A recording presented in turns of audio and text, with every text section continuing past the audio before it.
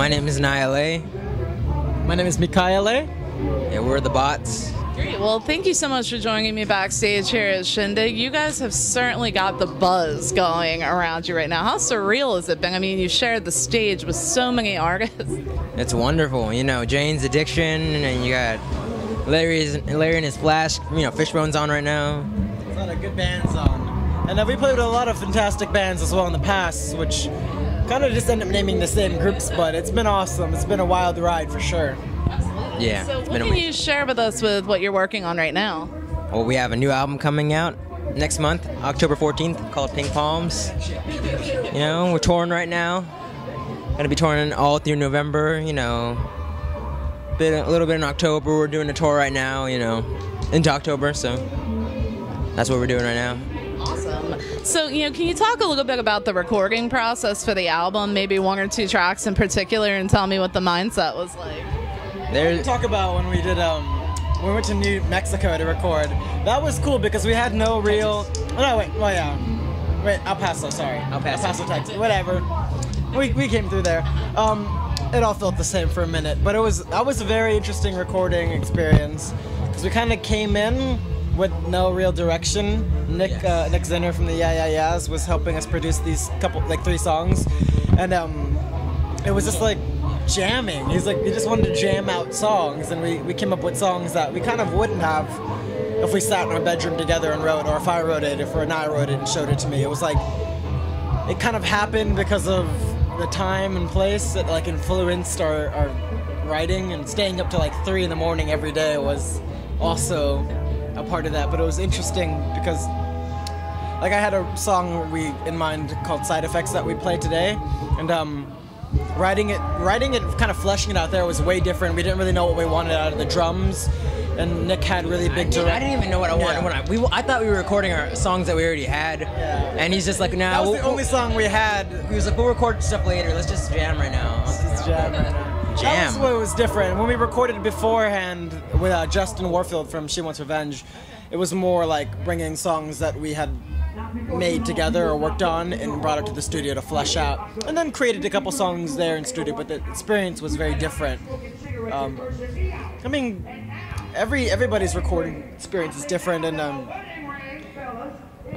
it varies. It varies where you are, what time I'm sure that becomes a character too. yeah, I mean, when you're recording something at three in the morning, you've got this different mindset. You've got a different vibe. You kind of hear, like it's like to me when I listen to certain guitar parts on the record, or like certain elements in the album, I could almost recall exactly where I was or what I was thinking at that time. I can remember, yeah, times I was shirtless, times I wasn't. Yeah, Times I was wearing pants, times I wasn't. You're like, yeah, I recorded that drum fill without pants on. I was like, okay. I can, I can recall, I can recall that, you know, it's, it's fun because I recall him being naked pretty much recording most of the drumming, and I wore like two sweaters and a jacket in the studio Yeah. all the time. That's crazy. It's gonna be like the next little tidbit that ends up on the Wikipedia page. Like, look at what they're wearing. you know, He wasn't actually naked. half of it was uh, not naked, but you know, Yeah, there was time. times. There was times pants were off. There was times shirts were off. You know, All the time. times it was at 2 a.m. There was times it was at you know one in one in the afternoon. And it's just cool to be able to think back to when you listen and like certain bits that we recorded, like, oh, I know that that came from there, and what, you know, it's just like, it's fun for us. Nobody else that listens to the album would know that. Yeah, it, it's kind of like an inside, like you know, I know it. Mikai knows it. Justin knows it. Um, Nick, no, Nick knows it. You know, whoever their sound engineer, Charlie knows it. I mean, you bring such a variety of styles to your music. Like, what influenced you? Like, when did you first get bit with the bug that said, this is what I want to do? We didn't actually you know because we were. Well, I mean, I guess we were trying to, but you know, in the end, we were just like, let's do what we want to do. You know, I guess that's you know that's choosing what we want, but what we wanted to do was exploring different sounds, different genres within the rock category. A lot of bands You know?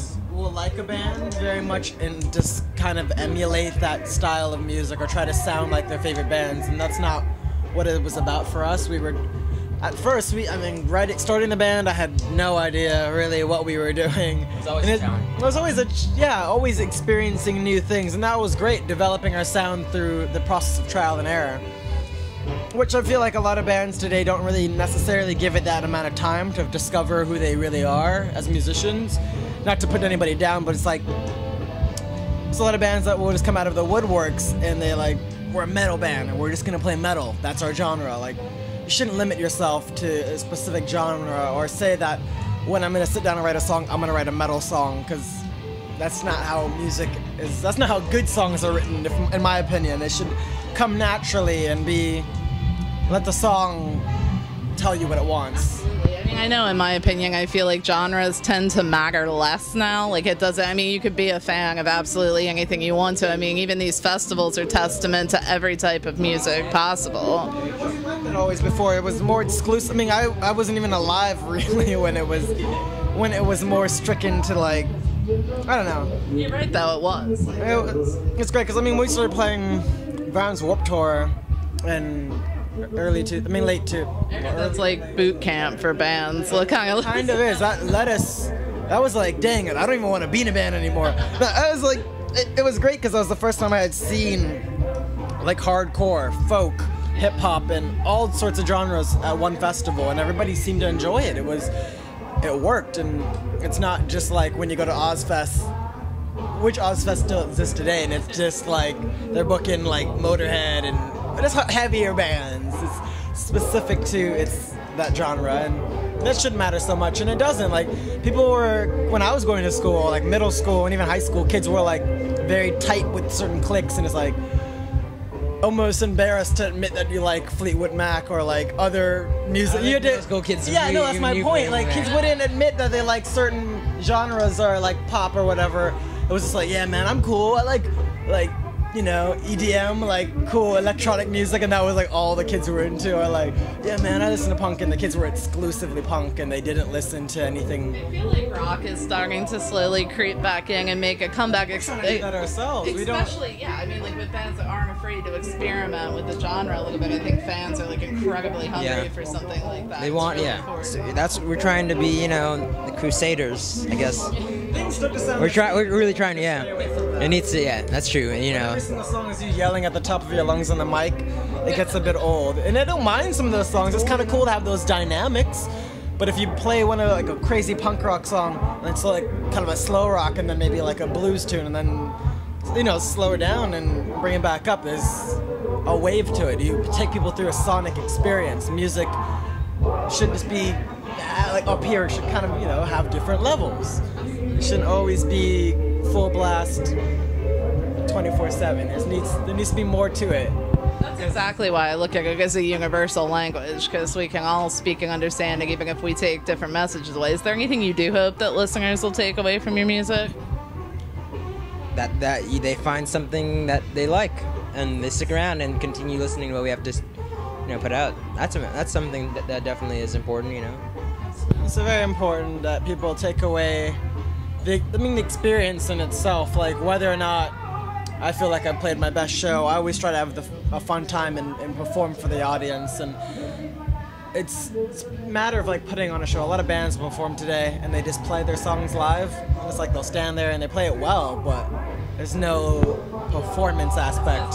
Your energy is great on stage. It's like what you know, what goes into the live show, getting geared up for that for you guys. Stretching. Stretching. I carry around a bag of GG Allin's poop that I bought on eBay for five dollars, and I sniff it before each show, and then get the powers, like really like, freak out, and then yeah, and then I go out and rock. Nobody makes jokes like nobody says anything stupid anymore. But it's just like yeah, I drink tea and We like do. That's what he does. You know. This is this is this is he this. stays Is, out of my business. I say I- that's you know I stretch with them. We stretch together. That's true story. That's that witchcraft stuff. You know that's a different story. He, he Poo voodoo, you know. That's what I'm calling it. now. keeps that poo poo voodoo. You keep that to yourself, bro. So what would be the most surprising? Is there anything that you know when you look online and you read about the band? Is there anything that's misunderstood or that people get wrong? All the I try- I I don't look though. Ignorance is bliss. Is for me. I try not to read things about myself, but I always check my emails and like our manager will like, hey guys, you just came out in this magazine. Like send me the link, and I'm just like, ugh, I see it now, so I have to like click on it. I want to know, but I don't want to know. Yeah, it's, it's You can tell my name. Um, loads of stuff. you know, there's a lot of stuff. The what this shouldn't matter. You know, I'm just saying this age. It really shouldn't matter. They always incorporate age to you know, and it doesn't. It, Do you feel it almost turns like into a novelty? It's. I mean, people people are trying to. You know, we're get we're getting Put it in that- we're getting older, so it's kind of harder to. You know, he's 21. I'm turning 18 in November. You know. We'll just be a younger, After- after that, we're- younger dudes in a band. Yeah, well, we're not like when we started. I was like, you know, they were like the 16 and you know, like 12. That's like you need. You know, we're not trying to be a novelty band. We never were trying to be a novelty band. We just When happened to start at a younger Yeah. age, but we want people. We wanted people then to take us seriously, and they did. I mean, a lot of people would mention age, and it's not really so much of a deal until they make it a big deal. And then for some reason, race. Yeah, race, I was gonna They say that. always say like two black kids. I'm like, we're half Chinese, and they're like, oh, But that shouldn't- Two brown kids that play punk music, and it's like, it's not punk. But this is. But this is. It doesn't even matter if, it, if it's a punk or not. It's just the fact that the race. the race is an issue, and that it shouldn't be an issue. That's like one of the ones I talked Yeah. to Pharrell Williams a while back about like the same thing, but like we were talking about how why should that have to matter? Like in music, as far as the genre goes, if you're making good music that people want to listen to, whether it's rock, hip hop, EDM, it doesn't matter. yeah, you're not gonna. You're not gonna say that about a Caucasian Nobody ever band. does. No one. No one mentions that. But when it become when it when you get a couple people that are ethnic, a little more ethnic, little more, little more racial, it's it, and then it becomes a problem, or it becomes a you know, oh, this is something you don't see. Well, it is something you see. You know, this We did is. an interview where the interviewer had said that, mentioned like, "Oh, you guys are two black kids from LA that play," and I was like, I corrected him after. I was like, "We're half black first off." He's like, "Oh, like what are you? What kind of Asian? Like Japanese?" I was like, "You can't just start assuming just 'cause I said Asian." But no, it's like you two, you two black kids that play garage rock music, which is typically played by 35 year old men with beards and like. I was like, middle-aged men with beards is like kind of their genre. Why, why you guys decided to play this? And I'm like, their genre. That's kind of well, that's kind of whoever. racist. I'm like we're from LA. they own it. No. yeah. No, but it's not like I don't I don't take it so seriously because I know that that's ignorance and it's it's their it's But them I'll- not I'll- being I'll- educated. You know, I'll correct someone that that does say that. You know, Yeah, if they if they it says you know I'll mention it because if it's not being mentioned, it's just gonna be a like a silent thing that just happens over and over again. You know, yeah, it's got to be known at least. It's just them being ignorant. If you don't know better, if you're to say that out loud, it's it looks bad on you because you. It's not. It's not about that. I'm curious because I know, like, you know, the days of the internet being so prevalent in the music scene, like, people just put a lot of junk, like, out there. Bummer. Uh, It bums me out. It makes me think about the way we've recorded this album, which is I'm very happy with the album we had just recorded and it's produced lovely. But there's a lot of it's produced like a lot of albums in 2014 have been. It's on Pro Tools. Uh, anybody can make. Anybody could buy a MacBook and it comes with GarageBand, and essentially then you could start making music and put that on the internet. And there's so much junk. Uh, It makes me think that like I want to really earn my writing experience, and for the next album, I I, I want to write. I'm gonna take it back, like more of an analog recording tape, style. who knows? Yeah, do tape. maybe we'll do- Awesome. I've heard a couple bands recently doing Yeah, that. and it's The band off, um, you know, this, you know, they the last album they put out. Actually, I'm wearing the shirt right now. Nice. This album was on. Good no, maybe, maybe- no, no, no. Actually, no. Sorry, this album wasn't on tape. I don't think. But the latest album they just put out was recorded on tape.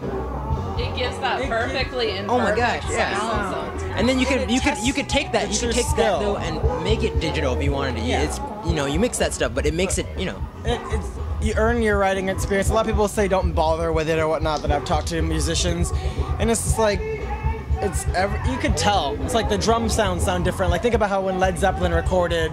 Yeah. Compa- yeah, you could tell it's different, and and I want to make something sonically different and texturally more interesting. I want it to be something I'm very proud of and. And just not use plugins, not be so easy to achieve the sounds that everybody is it's readily available it's like Did you have any material left over from the recording session? Oh, we have a we have a lot of you know we're gonna probably probably 15 songs and they only use 10 even that we still have a lot of material that it's just now. we're writing, but we have a lot of material that we just have songs that I'm forgetting we had that are we you know we might put out an EP in a couple months, you know, and then come the time around we're gonna put out an album. A lot of artists are doing that now. It's almost like the you know the album will get its steam, and then it's like a little bit more of a taste of like a dessert. Here's the EP. yeah that's what we plan on doing and like because of what i was saying before i want the writing on the next anything else we put out from this point on to be more dependent on the the classic songwriting not it being that your production sounds amazing because you have like these crazy effects and all these other things smoothing it out and making it sound lovely. I want to be able to take away everything, be able to play a song on an acoustic guitar and it still be a hit, more or less. Like I listened um, "Creep" by Radiohead acoustically the other day, and it, it was just him, acoustic guitar and vocals, and it's such a you could tell from there, bare bones, before they built up the track put distortion and drums. It's an amazing song right there, and that's what I want uh, the album to to depend on is classic songwriting, just it being a good song minus the the plugins and all the. I'm excited to hear that. Definitely, definitely. be a true representation of what we really are as a band and it's not to say what we're doing now isn't it we've, we've experimented with a lot of more technical like technology and in its technical aspects yeah. We experimented it's the it's an expression i heard before. It's like the musical mayonnaise.